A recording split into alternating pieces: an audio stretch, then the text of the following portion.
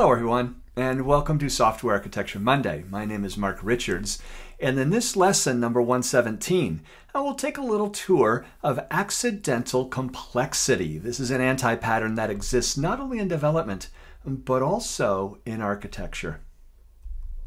It is true uh, that we do have a lot of complexity in this industry, especially within architecture. Uh, for example, uh, five nines architecture, such as what's illustrated here, is very complex. However, one of the things we tend to do as software architects is to make things complex. For example, um, here's an actual artifact of the major information flows of the back end settlement systems of, of one of the world's largest banks. And one of the things that we unfortunately do as architects is make things overly complex. So we do this for many reasons. One is to always maybe stay in the loop so that you'll always be involved because no one else can figure out your design or documentation. Um, it's also really good for job security, by the way, as well. this happens all the time in architecture, um, but it's not always architecture. Now, let me show you another really good example of accidental complexity. So I want to show you uh, this code right here. Now let's take a look at this method called adjust number.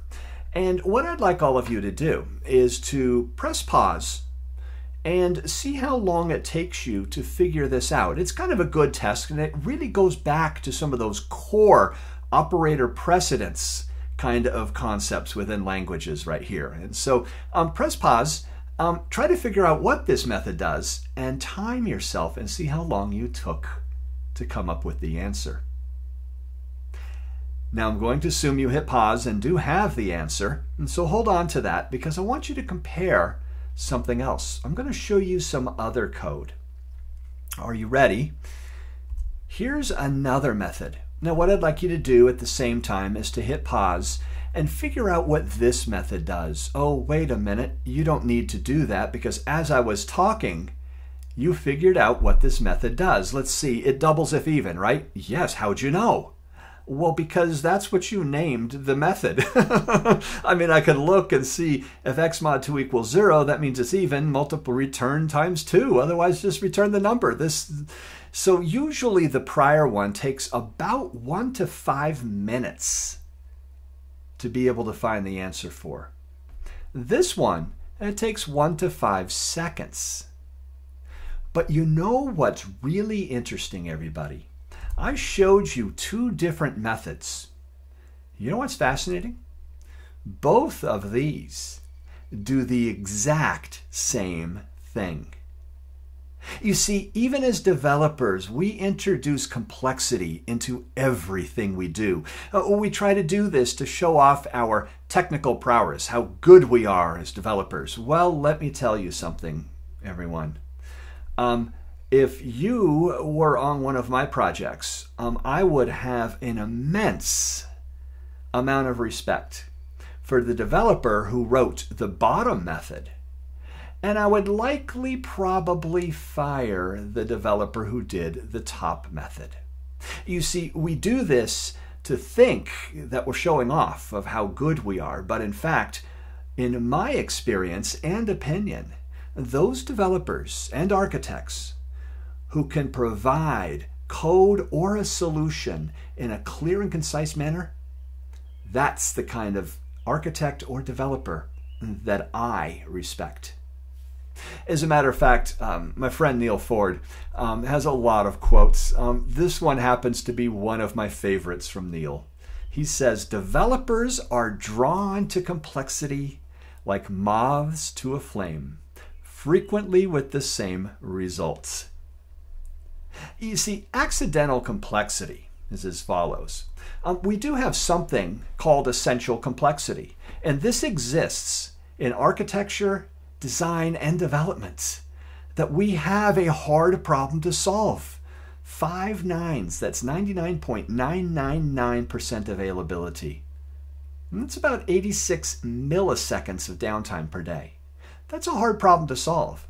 But all too often, as architects and developers, uh, we imply accidental complexity. In other words, we make things overly complex, hence, we introduce complexity. We've made a problem hard. And if you look at the two statements down below, we have a hard problem and we've made a problem hard. And that's what accidental complexity is really all about. It's introducing unnecessary complexity into a solution. Well, for architecture, uh, one of the things I like to do uh, to avoid accidental complexity is really focus on what I call the four C's of architecture. I call it the four C's because all four of these uh, words I'm going to show you all start with the letter C. The first is communication. The second is collaboration. And it's knowing the difference between these two. A communication is telling somebody about something. Collaboration is working with somebody to formulate the solution. Coupling those with clarity and also being concise.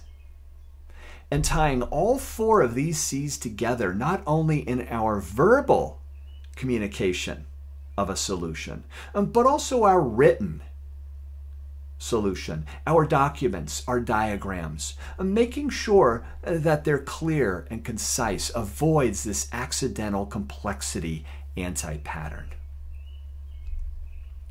We talk a lot about this pattern and others in our book, The Fundamentals of Software Architecture. Um, I thought this would just kind of be a fun pattern. This came up uh, a couple weeks ago at work, and I thought, you know, I should do a lesson on that.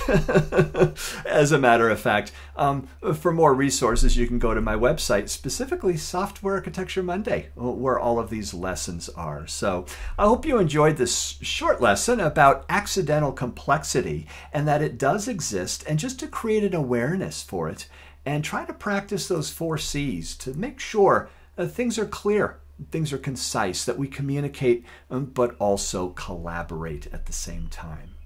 And so this has been lesson 117, Accidental Complexity. Thank you so much for listening. Uh, stay tuned in two weeks for the next lesson in Software Architecture Monday. Thank you.